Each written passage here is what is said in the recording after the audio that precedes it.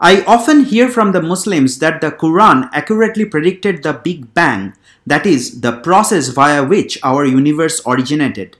It is arguably touted as the number one scientific miracle in the Quran. This miraculous verse reads as follows Do not the unbelievers see that the heavens and the earth were joined together in parenthesis as one unit of creation before we clove them asunder? We made from water every living thing. Will they not then believe? I have put here the top three English translations. Only the first sentence supposedly tells us about the Big Bang miracle. I am going to show you that this sentence, which is about two lines in length, has not just one but multiple very serious problems. So I am going to categorically debunk this verse once and for all. Since this video is slightly longish, I am giving a quick summary right in the beginning. Point number one, recycling old stories.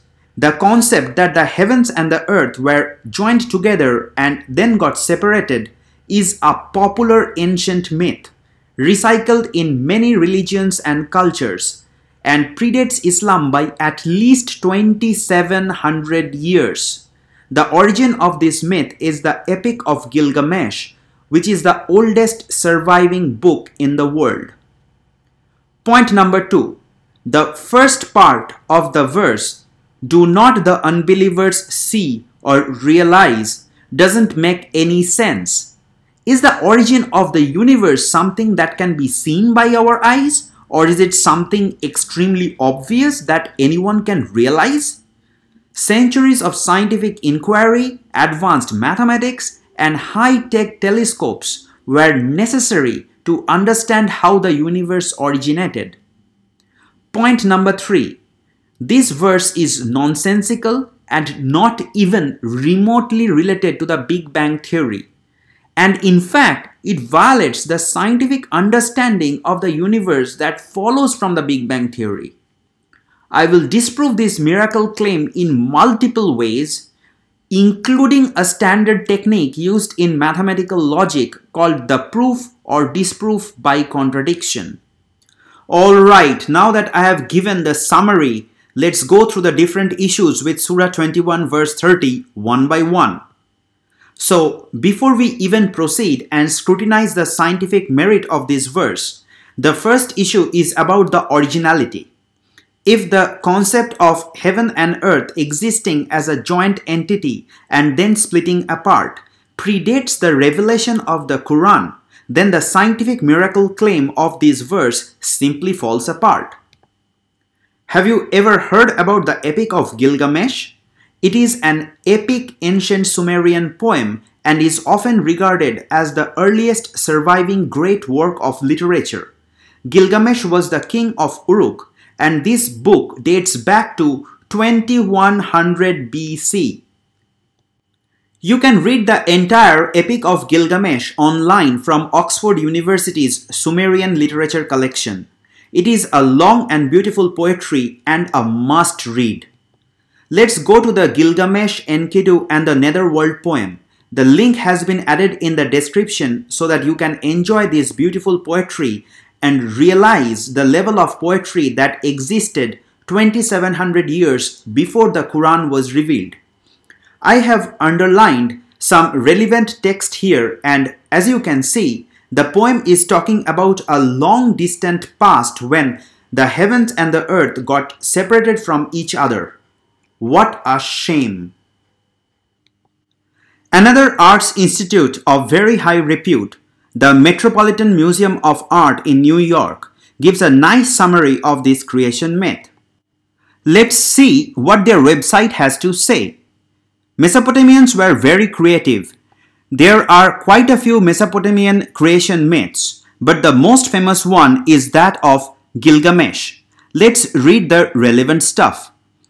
A Sumerian myth known today as Gilgamesh and the Netherworld opens with a mythological prologue. It assumes that the gods and the universe already exist and that once a long time ago the heavens and the earth were united, only later to be split apart. Hmm.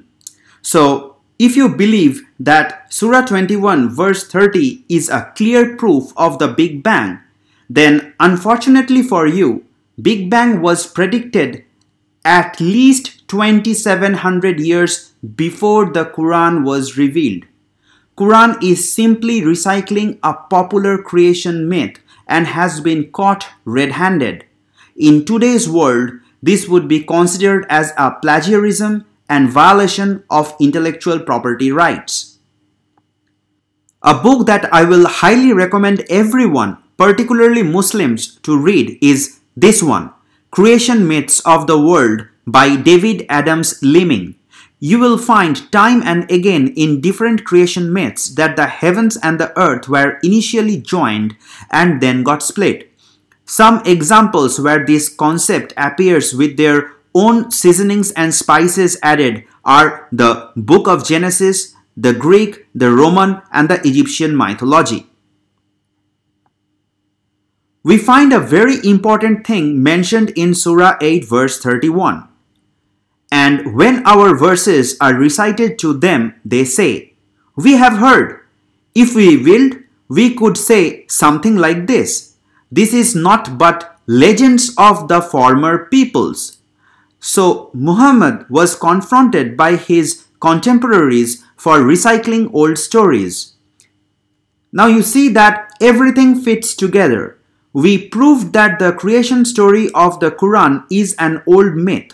In addition, the Quran confirms that Muhammad was confronted by other people for recycling old stories. So this is a clear and shut case.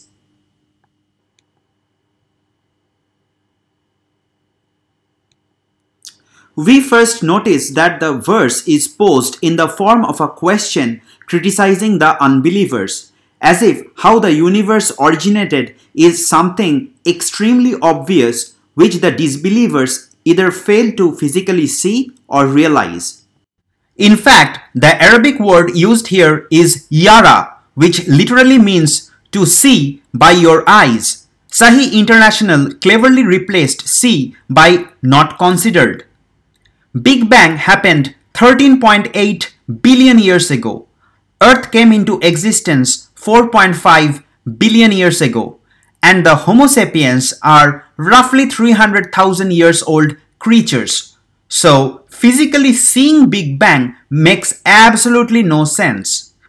Now, if one argues that here the word see is figurative, not physical, I would say a better choice of word could have brought more clarity, especially because Quran claims to be a book that is absolutely clear with detailed explanations.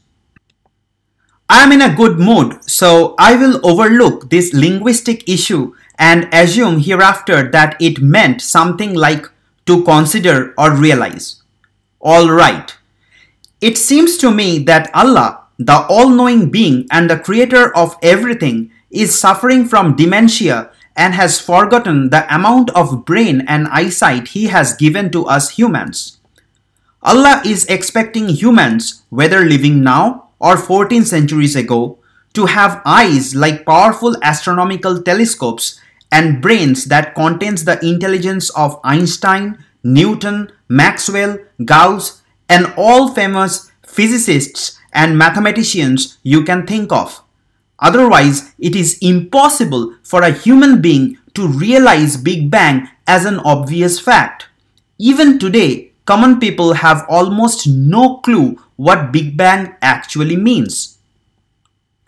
It is in the early 20th century, after the invention of sophisticated telescopes, the famous astronomer Edwin Hubble observed that the further a galaxy is from Earth, the faster it is moving. He concluded that the universe is expanding, a corollary of which is that the universe started at one point in space at the time of the Big Bang. The mathematical details to support the expanding universe theory was independently given by Lemaitre and Friedmann and both these geniuses made good use of Einstein's theory of relativity in their derivations. Through the refinement of scientific knowledge over centuries and the all-round effort by multiple genius minds led to the development of the Big Bang Theory. It is definitely not something that is completely obvious to a random person, whether living now or 14 centuries ago. So we have established that the first part, highlighted in orange, makes no sense at all. Even though I have been generous and overlooked the linguistic issue with the Arabic word yara, unfortunately, my generosity didn't help this verse that much. I think that this part is a very, very stupid mistake.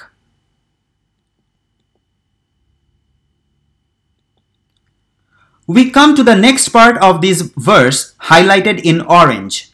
The heavens and the earth were joined together in parenthesis as one unit of creation before we clove them asunder. Many Muslims believe that this part is storing the real Big Bang miracle. Now, I am in two minds. Should I debunk the creation story of the Quran or that in the Epic of Gilgamesh? Since Quran has simply plagiarized the creation myth of the Epic of Gilgamesh, to be fair, I should criticize the actual tweet, not the retweet. But given that debunking one just debunks the other, I am simply going to debunk this Quran verse. First, let's look at a reasonably good analogy of this creation narrative. The glass bottle and the metal cap initially exist together as a unit, but after the action of the bottle opener, they separate out. You may ask, what is the proof that they have separated out? Well, the answer is pretty simple. After the action of the bottle opener, both the glass bottle and the metal cap exist as separate entities. Likewise, if the heaven and the earth were joined together as a unit, then the Big Bang happened and they separated out.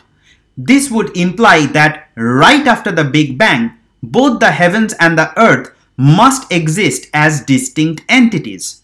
If earth is not in the picture right after the Big Bang happened, then separation of heavens and the earth makes no sense, right? But the universe is 13.7 billion years old and the earth is only 4.5 billion years old.